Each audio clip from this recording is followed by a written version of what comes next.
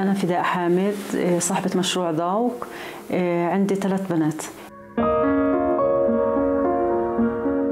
إجت الفكرة بعد اكتشفت إن أنا مريضة سرطان مصابة بسرطان الثدي. فترة العلاج كانت فترة العلاج شوي صعبة. تعرفي عمليات وكيماء وإشعاع فهي شوي كانت كثير كثير صعبة.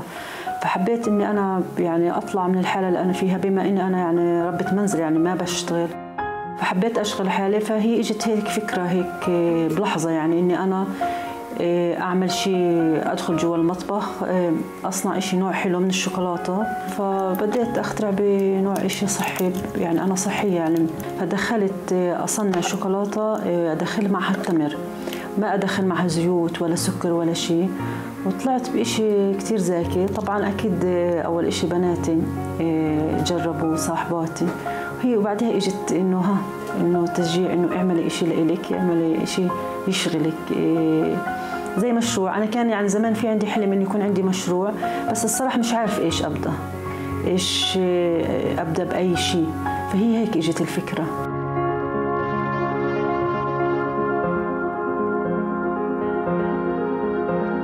حسيت أنا لما دخلت مع التمر الفلسطيني من مزارع أريحة بجيبها إنه كمان هي الشوكولاتة بجيبها خام بس بلجيكي. فحسيت إنه هو مزيج بين البلجيكي والفلسطيني. إيه، أكيد صحية.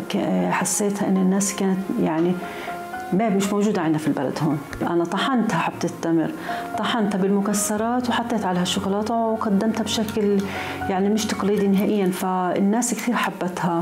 الشركات عندنا المؤسسات البنوك حبوها حبوها كهدية إيه، يهدوها للموظفين حتى المغتربين. يعني أول ما يجوا على البلد إنه يحكوا بدنا هدية بس من ذوق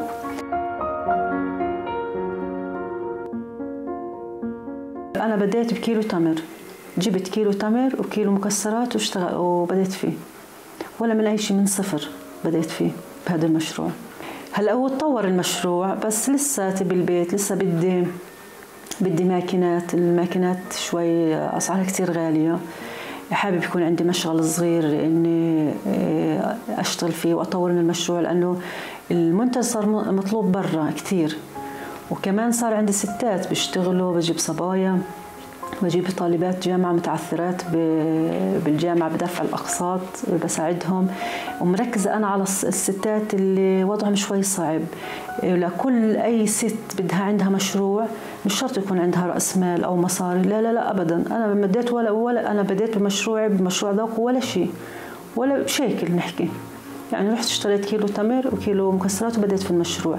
اليوم الشغل اونلاين هاي على ال social media هي كثير بتساعد يعني. في بيتك بتقدر أي ست في بيتها تقدر تعمل أي مشروع وبينجح. مش شرط يكون عندها لا محل ولا رأس مال.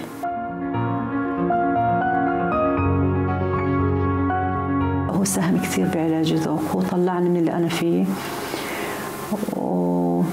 وكان وضعي وضعي أنا كثير تحسن. على الوضع المادي على الوضع النفسي. إيه، بحسه يعني أنا بحسه زي زي طفل صغير وعماله بيكبر.